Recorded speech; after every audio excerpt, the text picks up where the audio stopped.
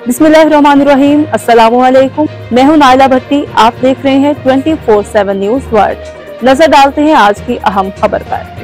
हरुणाबाद से हमारे तहसील रिपोर्टर हबीबुर रहमान की रिपोर्ट के मुताबिक, फकीर वाली के सीनियर क्रिकेटर लाला मोहम्मद फयाज भट्टी और मोहम्मद आसिफ मसूद मरहूम की खिदमत को खराज तहसीन पेश करने के लिए फकीर वाली में पीरजादा क्रिकेट मेले का इनका किया गया, जिसकी ओपनिंग सेरेमनी में ट्रॉफी की रौनुमाई की गई।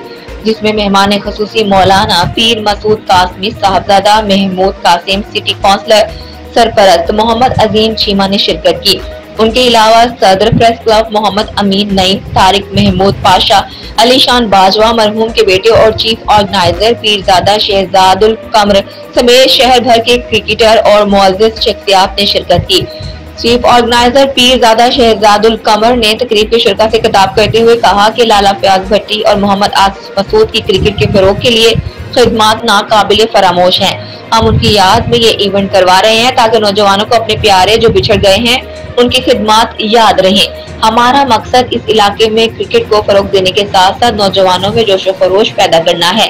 मेहमान खसूसी मौलाना पीर मसूद कासमी सरपरस्त मोहम्मद अजीम छीमा ने कहा जिन कौमों के खेल आबाद होते हैं, उनके अस्पताल वीरान होते हैं। हम इस ऐसा इकदाम पर पीरजादा शहजादुल कमर को खराज तहसीन पेश करते हैं और उनकी काविशों को सहराते हैं।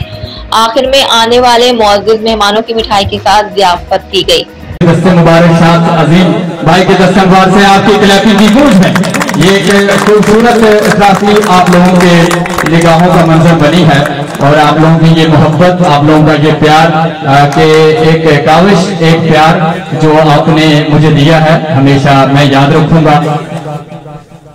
बहुत मजीद खबरों और अपडेट के लिए देखते रहें 24/7 न्यूज़ वर्ल्ड। मुस्तिल खबरों की दुनिया।